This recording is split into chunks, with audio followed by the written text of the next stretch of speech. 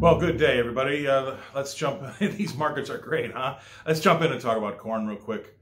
Uh, I think that my headline for the first little paragraph here is be 50 cents in 50 hours, right? I mean, spot corn hit uh, 574 uh, before the USDA uh, on Tuesday, and, and last night it fell down to 524 and three quarters. Now we've had a little bit of a climb back here. Corn finished up uh, around a percent on the day, about you know just over five cents, but uh, again, that one's kind of a, a buckle up uh, scenario because that's probably going to happen more often. 50 cents in 50 hours ish, right?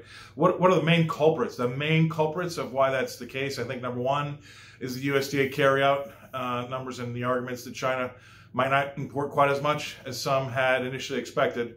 Uh, but number two, the one thing that's kind of doing the rounds is the quote unquote cancellation uh, yesterday of unknown corn to 132 uh, of 132 thousand metric tons. So that was kind of uh, uneasy. I think is probably the best thing to say. That was that, that put the market kind of on uh, on its edge. It was a little nervy. Uh, so those two main culprits being the USDA carryout and arguments that China might not be importing as much, as well as the cancellation. So that was also interesting to see. And then finally, you know, China still in the news. Reports that China might have been a buyer on this big break uh, right? I mean, there's always those types of things that do rounds in the market when folks are trying to express an interest in why something happened.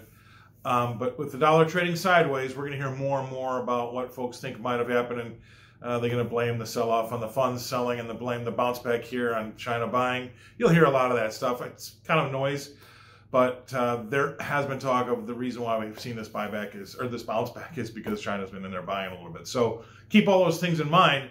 Uh, but this is not going to go away. We're in for, uh, a, a, fun summer uh, for sure.